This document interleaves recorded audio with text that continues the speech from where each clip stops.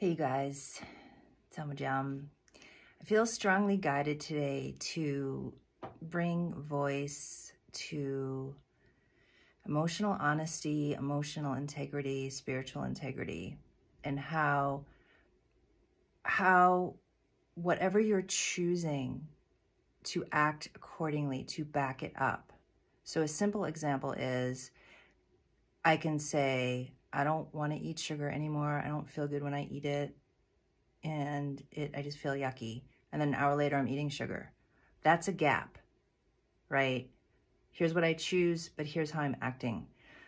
These type of gaps in 2022 are going to start hurting us more and more and more and more because the more we awaken, the more these these gaps have to close, right? Because we have to be in integrity with who and what we are.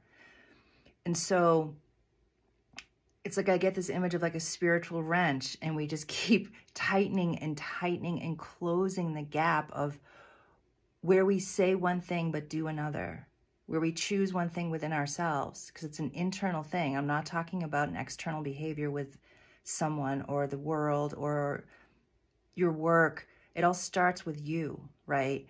So what I'm talking about right now is a very deep integrity with yourself of if I say I don't want to give my power away anymore, I'm not going to give my power away anymore.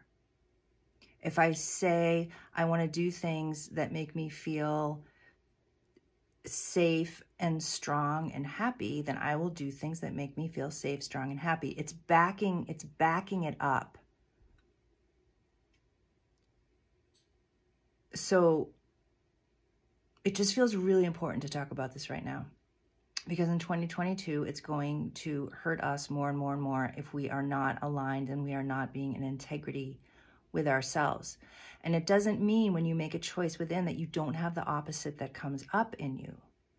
But it means you choose to, to back up your choice.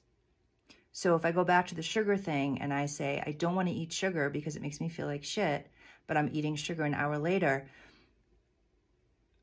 I can feel like I want to eat sugar, but I remember my commitment to myself. So I don't eat sugar and I deal with whatever is coming up that wants to eat it.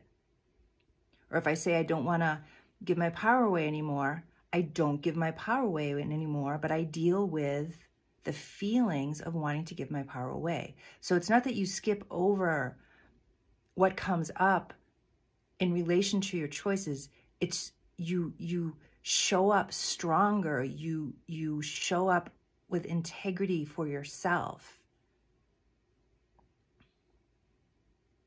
It's this deep self-honesty that is really going to start coming up for us in a bigger way. And the more higher energies that come to this planet, the more awakening that happens, it's it it really keeps bringing it back down to this to being a human being and being in integrity with ourselves.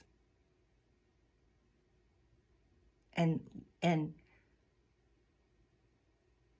closing that gap.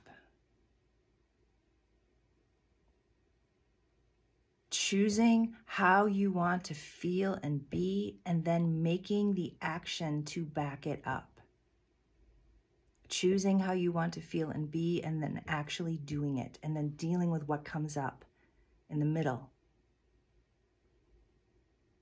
And this is just going to be really important as we go forward. So I just wanted to bring this up.